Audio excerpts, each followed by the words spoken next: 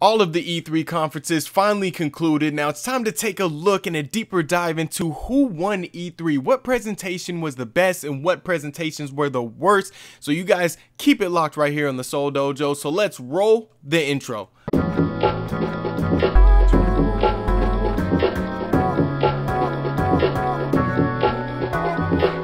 Microsoft, like they always do, went first. Last year, Microsoft had a really good conference with Gears 5 and Halo Infinite leading the way. Their pacing of their show was really great. A lot of great games came out of that show last E3. But without PlayStation at E3, Microsoft had a good chance to have a head start on revealing their new console generation and their new Xbox, which is called Xbox Project Scarlett. Now, we didn't get a lot of details. We kind of got the kind of like this developer video saying how great it was to work on a big console like Project Scarlett Scarlett. We also got to learn that the game console will go up to about 120 frames per second, which is pretty bananas, which is pretty crazy for a console. Also, they got to unveil Elden Ring and DBZ Kakarot new IPs, and that's kind of what it's like when you are a big developer and you have a lot of third-party titles to choose from. So they unveiled those games, which look great. But the best moment of E3 happened during Microsoft's press conference. It was Keanu Reeves coming out to unveil Cyberpunk 2077, unveil that he was going to be in the game, and you guys can check out my reaction right now on my Ninja. Niggas ain't trying to win, real oh,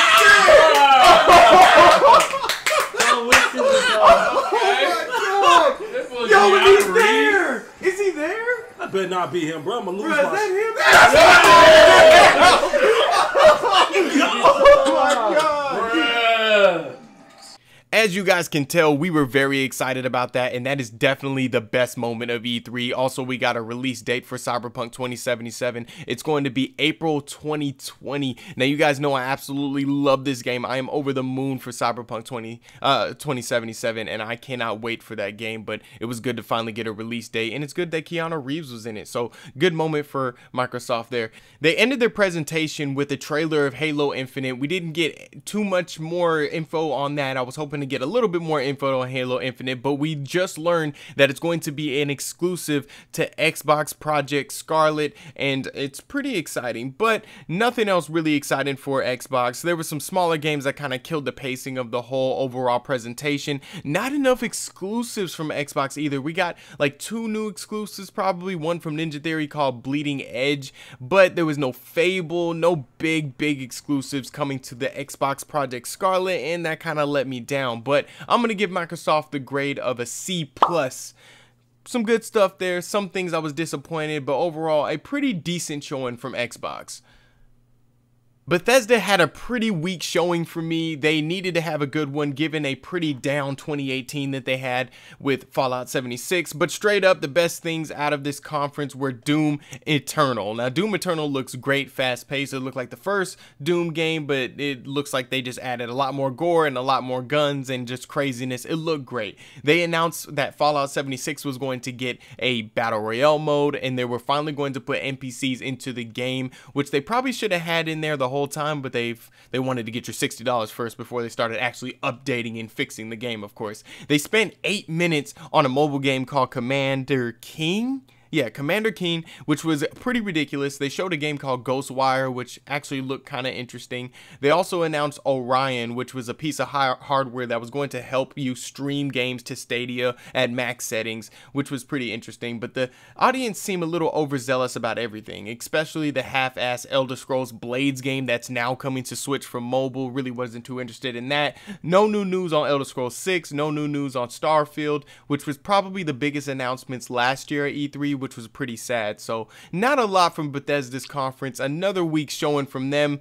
Um, I'm going to give Bethesda here a D.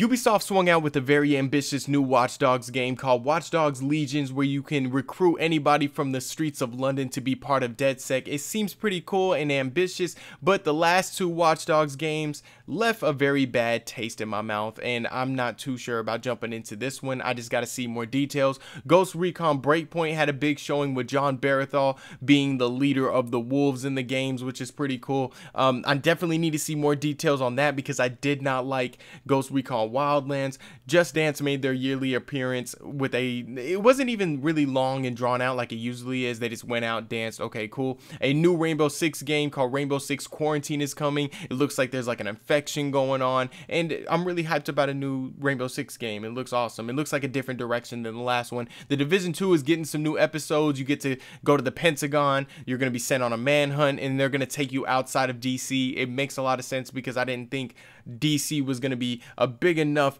area to contain such a big The Division game. So I love the fact that they're doing that. Also, if you love Ubisoft games, you Uplay Plus is a service coming to PC that's going to let you play over 100 Ubisoft games. So there you go. Ubisoft ended their show with a game called Gods and Monsters. It kind of looked like Breath of the Wild, and it's a new game from the developers of Assassin's Creed Odyssey. Really interesting. I want to see more details of it. It looks early in development, so we'll probably see it within the next couple of E3s.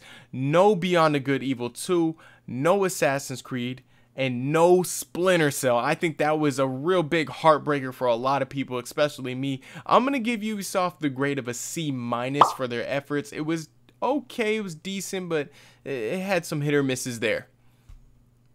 Square had a very boring and bad E3 last year, but they did have some games in their back pocket that interest me this year. Outriders and the remaster of Crystal Chronicles and The Last Remnant were really cool. Dragon Quest Builders looks fun, and Oninaki looks like an amazing game. I remember seeing that game at another Nintendo Direct that happened a few months ago, and it just looks great. We got a little bit of story content and some combat. Looks like a great game. They also showed Dying Light 2, which was a big game for Square this year. Square was also throwing out a lot of games that I liked at a very decent pace. The, the conference pace was really well done. They also showed the brand new Avengers game from Crystal Dynamics that they were working on. Now, I do have my doubts about this title. They did have a good showing with this title though. They came out, they were very energetic about it. They broke it down. They talked a lot about it and I did like it. So, I'm to give Square a decent C. They didn't do too much, but there was there was some surprises in there. Not oh my god surprises, but they were okay. So, a C is good enough for them. Nintendo had all the tools to take E3 this year, and their conference was really, really good. Nintendo's pacing of their conference was amazing, with remarkable showings of major titles coming to the Nintendo Switch, also showing smaller games that went by very quickly, but they were looking very interesting also. New Smash characters from Dragon Quest, and more excitingly, Banjo and Kazooie are coming to Smash. Luigi's Mansion got a longer showing with mechanics, 8-player co-op also.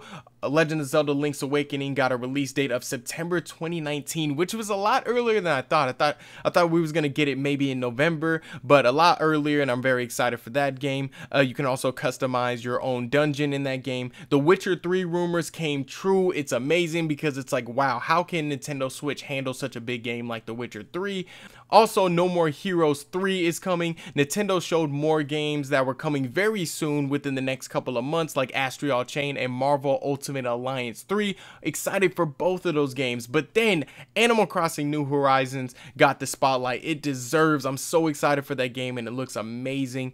Also, at the very, very end, a big surprise from Legend of Zelda Breath of the Wild getting a sequel, which absolutely blew me away. I was getting Majora's Mask vibes with them being underneath the castle in, in like a cave or something, but it looked amazing. It was a really good presentation from Nintendo, and I'm going to give them the grade of a B.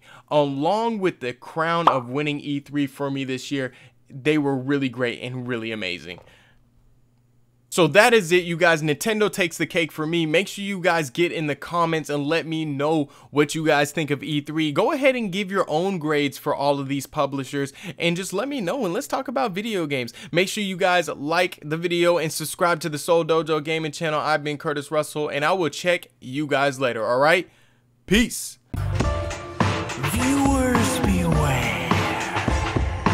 Smart, but still ain't knowing nothing. Sick and sipping Robitussin. Hella not myself today. Give it a sec, the flow is coming. Be the type of dude you wanna ask him if he holding something. Got that high tech store bought, rolling up with. Be in the section with the people that I'm smoking with. Hit it, then I hold it in. Hold it, then I choke again. I'm that socialist, vocalist. You show your friends more to corruption than some Donald Trump emoluments. That really says a lot about society.